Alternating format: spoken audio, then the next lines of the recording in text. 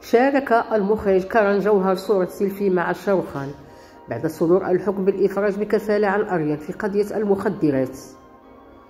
حيث كان كارن جوهر في إجازة في الخارج ولكنه عندما علم بالخبر توجه نحو مدينة مومباي لمشاركة شاروخان في فرحته.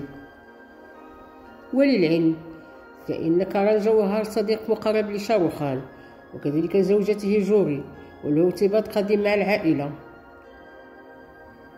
فهو من النجوم الأوائل الذي تضامن مع شاروخان ونجله أريان حتى خروجه من السجن بكفالة. وقد تم الإفراج كذلك بكفالة عن صديقه أرباز ميرشانت وعارضة الأزياء مونمون داميتشا بمحكمة مومباي العليا. أما عن شاروخان فسوف يستأنف التصوير ابتداء من الشهر المقبل فهو يشعر بارتياح عندما يعود أريان خان إلى مانات